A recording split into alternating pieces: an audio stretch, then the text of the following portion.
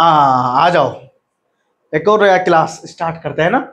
ये हमारा तीसरा क्लास है कि नहीं है? कौन सा क्लास है हमारा ये? थर्ड क्लास है किसका? लाइन्स एंड एंगल्स का। रेखाएँ और कौन का तीसरा क्लास है। हम क्या पढ़े थे last class types of angle क्या पढ़ रहे थे? अब टाइप्स ऑफ़ एंगल में तुमने कहाँ तक पढ़ा था? सप्लीमेंट्री एंगल क्या पढ़ा था? अच्छा कॉम्प्लीमेंट्री एंगल पढ़ा था। बहुत बढ़िया बहुत बढ़िया। अब हम पढ़ेंगे सप्लीमेंट्री एंगल क्या पढ़ेंगे? सप्लीमेंट्री पहले कॉम्प्लीमेंट्री पढ़ा था है। पाँच पढ़ाए थे। सिक्स अब हम कौन सा पढ़ाएँगे? सिक्स सिक्स पढ़ा दिए ओ अच्छा। चलो भैया सिक्स पढ़ा दिए। बच्चे बहुत होशियार है। यार बताओ हमको पागल बना रहे हैं। सेवन पढ़ाना है। यही तो हम कह रहे हैं सेवन पढ़ाना है। बच्चे कह रहे सिक्स पढ़ाना है। बेटा सेवन पढ़ाना है। ठीक है ना? चलो। तो जन्माष्टमी कल है, सभी को हार्दिक शुभकामनाएँ। सभी को राधे राधे। कभी कभी कुछ आधे आधे खा ले, करो, है ना? तो कल बढ़ती रहोगे भाई हाँ? तुम राधा के लिए बढ़ती रहोगे हाँ? कल ही बढ़ती रहेगा, ठीक है? चलो बढ़ती रहो, हम भी रहेंगे बढ़ती समझ में खुद के लिए वर्त होते ना? हमेशा गलत बोलते हो बिल्कुल तुम नॉलेज नहीं है यार, बताओ। कैसे इंसान हो तुम? चलो लिखो हेडिंग सप्लीमेंट्री एंगल लिखे? सप्लीमेंट्री रेस्ट इट गलत हो गया। सप्लीमेंट्री एंगल्स क्या बोलते हैं इसको? संपूरक कोण बोलते हैं हिंदी में? क्या बोलते हैं? संपूरक कोण। क्या होता है बताओ, किसी को पता है?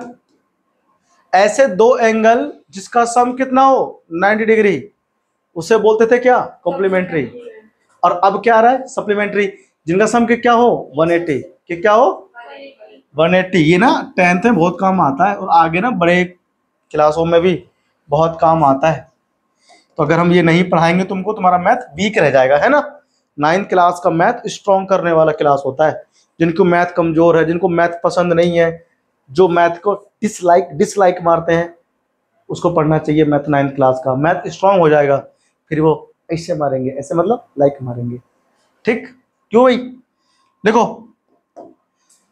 क्या लिखोगे इसमें? क्या लिखो बताओ उसमें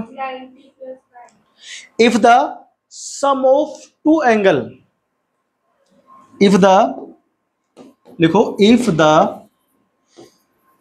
sum of two angles is 180 180 degree then the angles are supplementary supplementary supplementary angles समझ में आई बात सबको सप्लीमेंट्री मतलब क्या होता है दो एंगल का सम क्या हो 180 लिखो यदि दो कोणों का माप यदि दो कोणों के मापों का योगफल?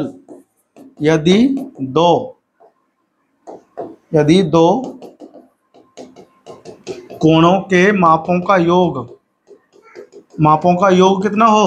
मापों का योग 180 डिग्री हो तो संपूरक कौन कहलाते हैं क्या? तो उन्हें संपूरक कौन कहते हैं। तो उन्हें संपूरक कौन कहते हैं? समझ में आया? कहते कहते हैं। कहते हैं कि दो एंगल का सम क्या हो? 180 डिग्री। तो उन दोनों एंगलों का कहते हैं आपस में? संपूरक कौन है? नहीं। अंग्रेज़ी में कहते हैं सप्लीमेंट्री है ना? अब देखो तुमको हम दोनों भाषा में पढ़ा रहे हैं। दोनों भाषा में पढ़ा रहे हैं। हिंदी वाले को, अंग्रेज़ी वाले बालक बेवकूफ़ नहीं बना पाएँगे। है ना? और अंग्रेज़ी वाले को हिंदी वाले नहीं बना पाएँगे, हिंदी वाले को अंग्रेज़ी वाले नहीं बना पाएँगे। देखो, ये एंगल सपोज़ करो एक्स डिग्री है। और ये एंगल सपोज़ करो वाई डिग्री है। तो ये दोनों कोण किस पर बनेंगे? लाइन पे। अगर लाइन पे एक पूरा कोण बनता है तो कितने डिग्री का होता है? 180 डिग्री का होता है, ठीक है ना? तो x प्लस वाई कितना आएगा? x degree plus equal to 180 है ना? तो इसे हम क्या बोलेंगे? सप्लीमेंट्री एंगल, ठीक है ना? समझ में आ गया? नहीं आया? तुमसे कभी अगर कोई पूछे कि बताओ बताओ ये बच्चा बताओ पैंसठ डिग्री का सप्लीमेंट्री एंगल क्या होगा? हाँ? सप्लीमेंट्री एंगल ऑफ़ 65 डिग्री, क्या होगा बताओ? Supplementary supplementary angle of 65 degree is 115 degree. कितना? कितना? 115 डिग्री। और पैंसठ डिग्री कैसे हैं? संपूरक कोण कैसे है? तो यहाँ लिख देना 115 डिग्री और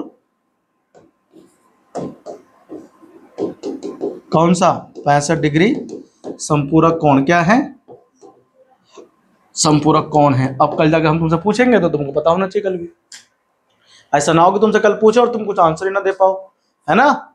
उसे कहते हैं लुल बच्चा जो नहीं पढ़ते घर पे, ठीक है? आगे बढ़े। अब हम लोग पढ़ेंगे एंगल बाइसेक्टर क्या पढ़ेंगे? एंगल बाइसेक्टर समधि भाजक कौन? अगला। एंगल बाइसेक्टर क्या होता है? ये सब कुछ बेसिक तुम्हारा बन रहा है। सात हो गए ना? आठ पढ़ेंगे, आठ। लिखो angle bisector angle bisector समद्विभाजक कौन? क्या बोलते हैं इसको? समद्विभाजक कौन? समद्विभाजक कौन? ये क्या होता है? अभी समझाते हैं तुमको। देखो, हमारे पास क्या है? इसको ना तुम डायग्राम से समझना, ठीक है ना? कहाँ से समझना? डायग्राम से ना, देखो। अरे, गलत कर दिए।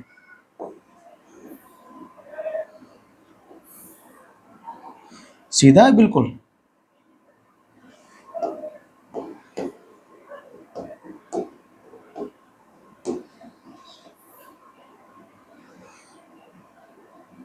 ठीक है? ये हमारे पास एक एंगल है, क्या है? इसको नाम देते हैं ए ओ और ये बी ठीक है? तो यहाँ पर एक एंगल है, कौन सा? ए ओ बी हम जिस एंगल की बात करते हैं, वो एंगल के लिए वो नंबर बीच में होता है ना? देखो ये ए है। हम एंगल ओ की बात करेंगे तो ओ कहाँ रहेगा? बीच में। ऐसे थोड़ी होगा कि हम यहाँ पर बी कर दे, यहाँ पर ओ कर दे। ऐसा नहीं कर सकते ना? एंगल ओ की बात हो रही तो ओ कहाँ रहेगा?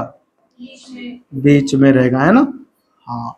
ये हम बचपन में सीख लिए थे। जब हम पैदा हुए थे ना, तभी सीख लिए थे। हमको सिखा दिया था मास्टर ने। देखो, अब ये एंगल ए ओ बी है। क्या है? अब हम इसमें एक लाइन खींच देंगे क्या खींच देंगे चुर। खींच दिए। तो इस लाइन ने क्या करा? इसको डिवाइड कर दिया एंगल ओ को दो पार्ट्स में। है ना? तो इसको मान लो हमने नाम दे दिया एक्स क्या नाम दे दिया? तो ओ एक्स क्या है? एंगल बाई सेक्टर क्या है? समझ में आया सबको? ठीक है ना? हम्म। तो क्या लिखेंगे? Ray, O, X, is called angle bisector. Angle bisector. यानी किरण ओ, एक्स को क्या कहते हैं? कोण समद्वि भाजक कहते हैं। क्या कहते हैं? कोण समद्वि भाजक कहते हैं। बात समझ में आ रही सबको? क्या कहते हैं? कौन समझी?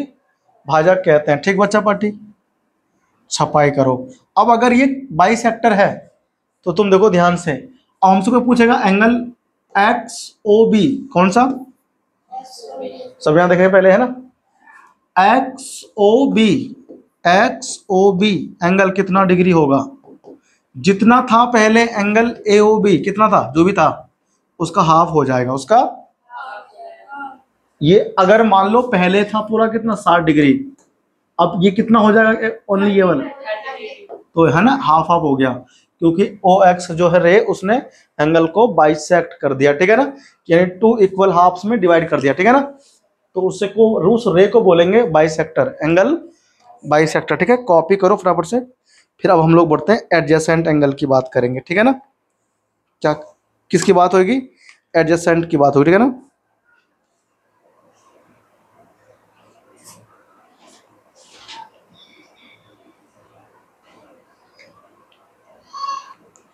अब आता है linear pair of angles linear pairs of angle है ना?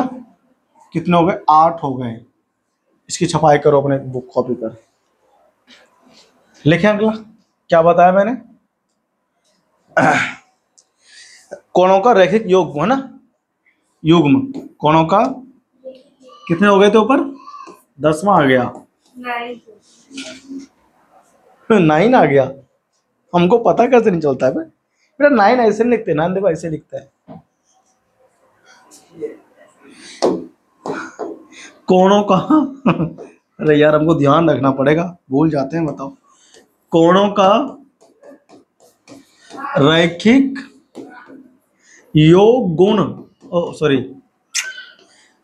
रैखिक युग्म। क्या? कोणों का रैखिक?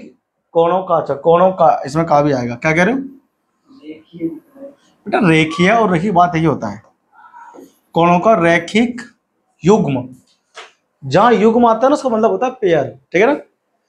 तो इसका हम लोग अंग्रेज़ी में क्या लिखेंगे? पेयर ऑफ़ लीनियर एंगल क्या लिखा आपने? पेयर ऑफ़ लीनियर एंगल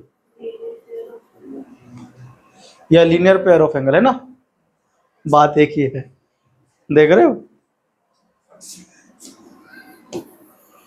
चलो छाप लो इसको अब हम पढ़ते हैं इधर।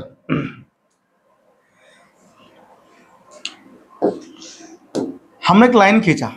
क्या खींचा? स्ट्रेट लाइन है क्या ये? स्ट्रेट लाइन पे क्या करते हैं? ऐसे एक लाइन खींच दिया एक और है ना? आ, अब देखो यहाँ भी तो एंगल बनेगा। यहाँ भी तो एंगल बनेगा। नहीं बनेगा? क्या लिखा है? लीनियर लीनियर का मतलब होता है एक लाइन पे सीधी। तो इस एंगल और इस एंगल दोनों तो पेयर ही तो है। पेयर मतलब जोड़ा जहाँ दो होते हैं। जैसे ये दोनों भी पेयर बैठे हैं। दो सहेली पेयर है। ऐसे ये दो एंगल पेयर में है। तो इनको हम लोग बोलते हैं लीनियर पेयर क्या बोलते हैं? ठीक है ना? तो लिखो इसमें फटाफट से।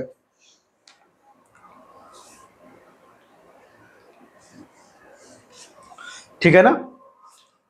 तो इसको हम लोग नाम तो नाम दे देते हैं। इधर ए बोल देते हैं, इधर बी और इधर हम लोग पी बोलते हैं ना? इधर हम लोग ओ बोल देते हैं। ठीक है ना? तो angle A O P plus angle B O P कितना आएगा? तो ऐसे पेयर ऑफ़ एंगल को ना हम लोग बोलते क्या है? ओ सेट देखा, हमारे यहाँ लाइट चली जाती है। हाँ तो दिक्कत हो जाती है ना? कोई बात नहीं। अगला पढ़ते कौन सा? वर्टिकल अपोजिट एंगल कौन सा? हाँ? पेयर ऑफ़ बहुत हो गया? हो नहीं? पेयर ऑफ़ डेफिनेशन नहीं लिखना है इसमें। अब टेन आ गया, है ना? टेन का नाम क्या है? वर्टिकल अपोजिट एंगल लिखो। Vertically vertically opposite angle opposite angle vertically opposite का मतलब क्या होता है? बताओ। पता है किसको एंगल कैसा होता है? पता है? चलो आओ बना के दिखाओ इधर। एंगल बना के दिखाओ। चलो कोई बनाओ। शीर्षा भी मुख कौन कहते हैं इसको? क्या बोलते हैं हिंदी में? शीर्षा भी मुख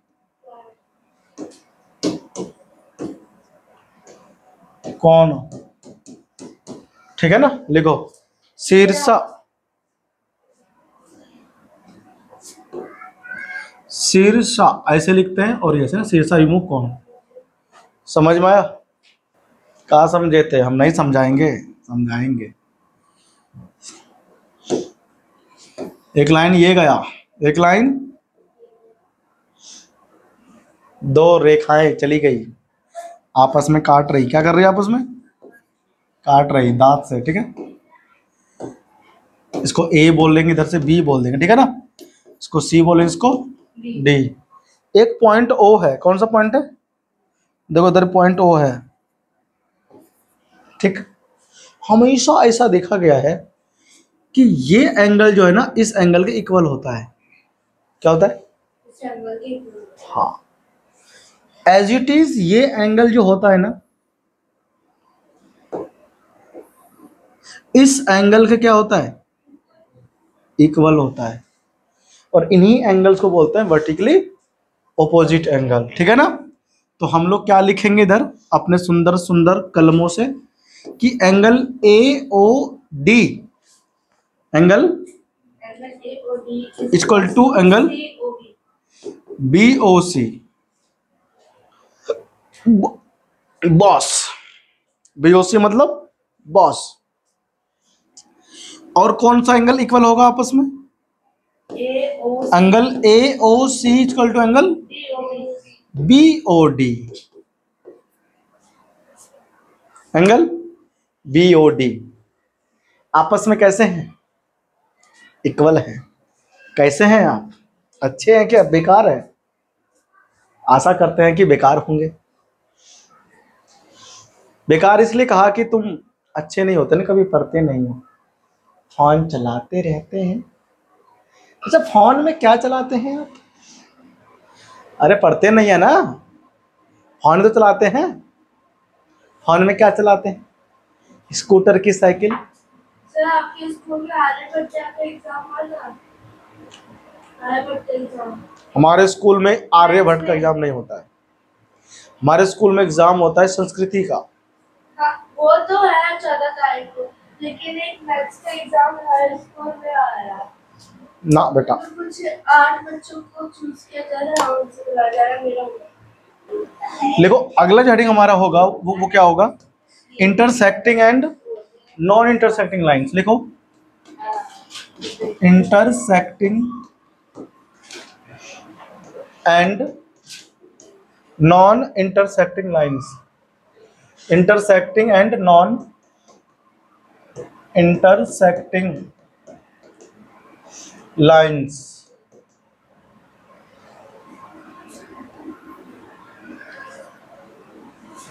intersecting and non intersecting lines ये क्या होता है?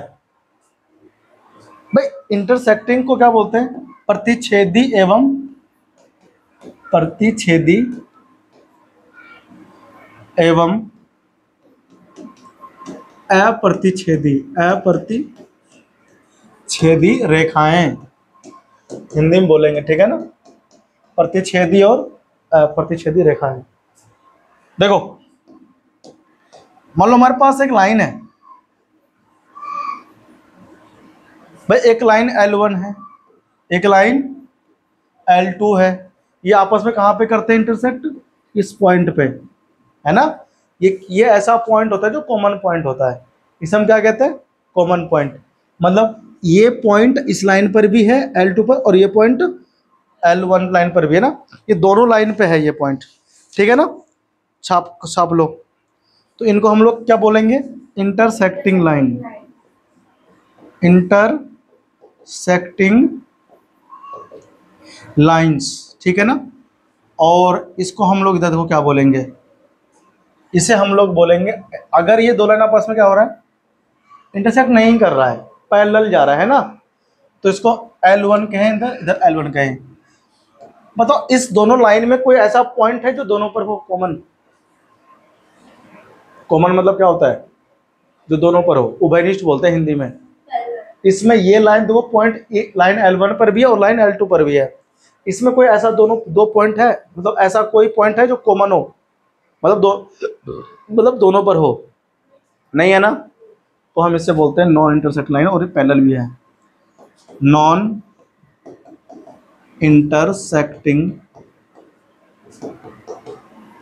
लाइंस ठीक है बच्चा पार्टी जल्दी से कॉपी करो इसको। ठीक है ना?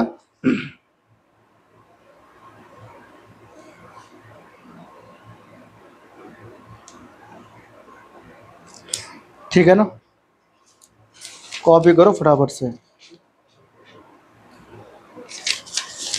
अब अपन लोग बढ़ेंगे आगे ठीक है ना? और हम लोग यहाँ पर थ्योरम पढ़ेंगे। क्या पढ़ेंगे? थ्योरम पढ़ेंगे सबसे पहला थ्योरम हमने कहा था कि जो वर्टिकल अपोजिट एंगल होता है वो आपस में कैसे होते हैं? इक्वल होते हैं। कैसे होते हैं? प्रूफ कर सकते हो कोई? प्रूफ करना होता है बेटा प्रूफ कहने से कुछ नहीं होता। प्रूफ माँगता है ना? हम्म? मैथ में क्या मांगते हैं?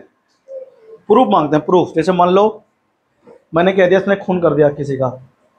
कैसे पुलिस पकड़ लेगी मेरे कहने पे? पकड़ लेगी। फिर तो ऐसा सबके कहने पकड़ लेती है ना? इसे नहीं पकड़ेगी ना? क्यों नहीं पकड़ेगी इसे? पुलिस बोलेगी लाओ, प्रूफ दिखाओ, सबूत दिखाओ। एविडेंस बोलते हैं अंग्रेज़ी में। क्या बोलते हैं? एविडेंस दिखाओ। मतलब क्या सबूत है किसने खून करा है? इसे कोर्ट में ले जाएगी पुलिस। फिर कोर्ट बोलेगा, दिखाओ एविडेंस दिखाओ। तब इसको मिलेगा जेल में, है ना? सजा। लेकिन अगर एविडेंस नहीं है तो नहीं मिलेगा, है ना? तो क्या होना चाहिए? प्रूफ ऐसे ही मैथ्स में कहने से कुछ नहीं होता। प्रूव करना पड़ता है। क्या करना पड़ता है? तो हमारा फ़र्स्ट थ्योरम है लिखो एडिंग थ्योरम थ्योरम फ़र्स्ट क्या कहता है? थ्योरम फ़र्स्ट कहता है if two lines intersect at a point O if two lines two lines are intersecting intersecting at a point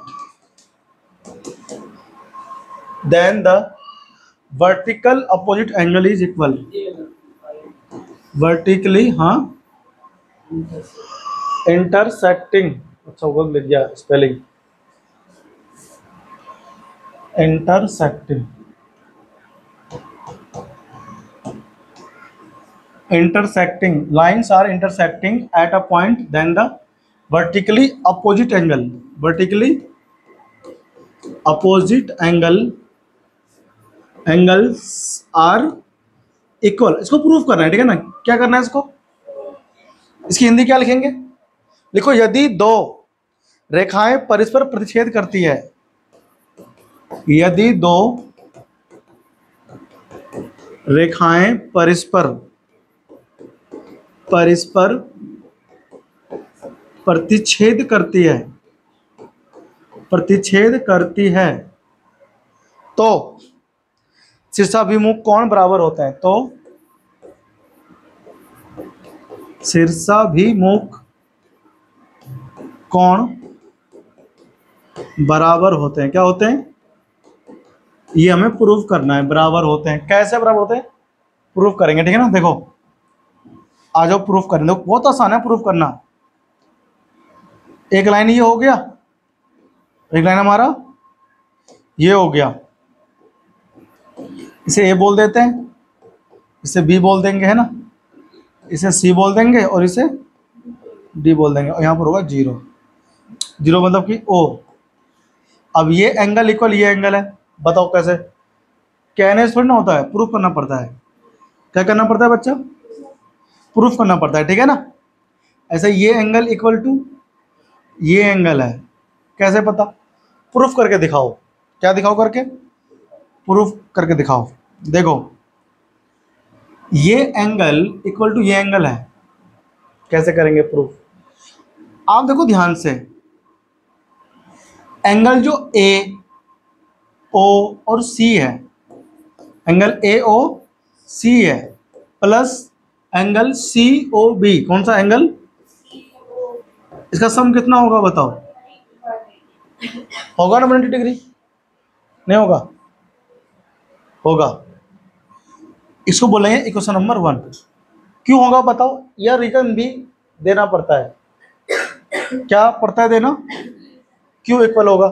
मतलब एटी क्यों होगा? Angle sum on a line क्या? Linear angle linear linear sum on a line एक line पे angle का sum कितना होता है? भाई देखो, ये एक लाइन नहीं है, क्या ये एक? तो एक लाइन पे जितने भी एंगल होंगे, उनका सम कितना लेंगे बेटा हमेशा वन एटी ठीक है ना?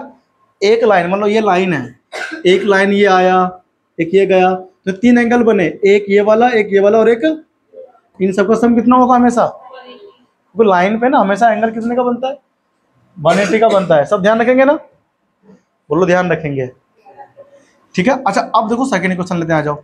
देखो एंगल कौन सा लेंगे? A O D A O plus angle D O B D O ये कितना होगा बताओ?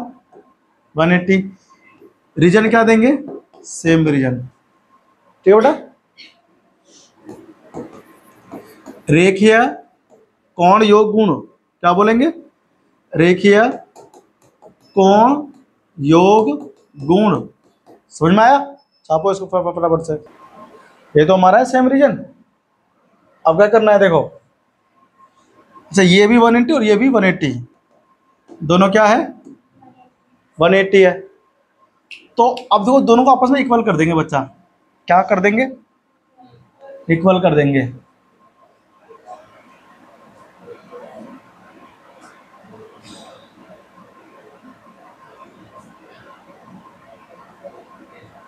अच्छा अच्छा अच्छा अच्छा अच्छा। इक्वल तो ये होता है। है ना?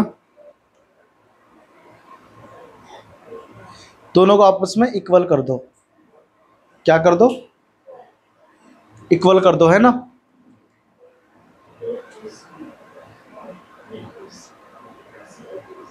A O C plus B O C ठीक है? फिर A O D plus D O B दोनों इक्वल आपस में।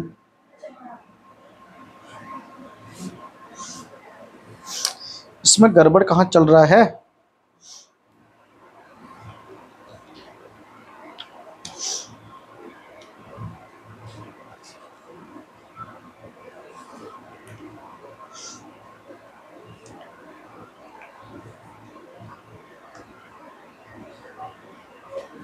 बेटा इक्वल होना चाहिए ना ये ये एंगल प्लस ये एंगल होना चाहिए बी ओ सी इसमें कैसे नहीं आ रहा है? आपस में इक्वल कर देंगे तो एक कट जाना चाहिए ना कैंसिल आउट हो जाना चाहिए।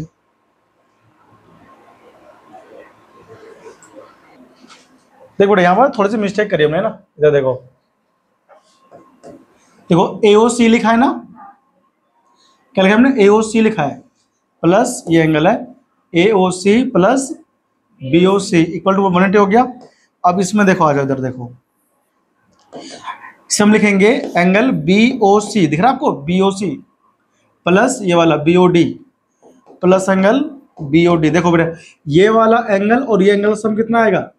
पूरे पे वन नहीं होगा? होगा ना? तो यहाँ पे वन डिग्री है ना? रीजन सेम देंगे लीनियर सम ऑफ़ एंगल है ना? लिख दिया? अब हम दोनों को इक्वल कर देंगे, है ना? दोनों को इक्वल करेंगे। को दोनों 180 है ना? तो इसे आप बोलोगे इक्वेशन नंबर वन इसे बोलोगे इक्वेशन नंबर टू यहाँ लिखो from equation one and two तो angle A O C plus angle कौन सा? सी ओ बी इसको टू ये कर देंगे। एंगल बी, ओ, सी लिख दो, या सी ओ बी लिख दो। सी ओ बी, है ना? इसको प्लस क्या हो जाएगा? Angle B O D. B O D. देखो अब ये दोनों आपस में क्या हो गए? कट जाएँगे, ठीक है ना? तरह का माइनस में खत्म हो जाएगा। तो angle A, O, C equal to क्या हो जाएगा? Angle B O D. और ये दोनों एंगल कैसे हैं? वर्टिकल अपोजिट एंगल देखो, ध्यान से। ए, ओ, सी ऊपर है और बी, ओ, डी नीचे है ना? Which are vertical opposite angle यहाँ लिखो हैंस प्रूव्ड क्या लिखो? हैंस प्रूव्ड ठीक है ना? कॉपी कर लो। आपसे मिलते हैं अगली क्लास ठीक है ना? कुछ क्वेश्चंस की प्रैक्टिस करेंगे। एक्सरसाइज सिक्स पॉइंट वन की, है ना? थैंक यू ठीक है बेटा? कल मिलते हैं आपसे, है ना? थैंक यू घर पे पढ़ाई करना, ठीक है ना? बहुत अच्छे पढ़ना इसको सबको रिवाइज करना आ जाएगा है ना? करना तुमको भी